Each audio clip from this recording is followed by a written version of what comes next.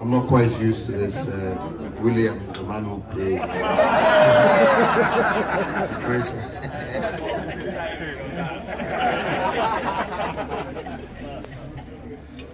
we thank you, Father, for this wonderful evening. Great friends, we appreciate everything you have done for us, standing by us through difficult times. We pray for greater and better times for our wonderful nation, Kenya. We pray for journey mercies for every single one of us who is here. We pray for peace. We pray for prosperity. We pray for unity in our country. We thank you for being with us and we pray in Jesus' name. Amen.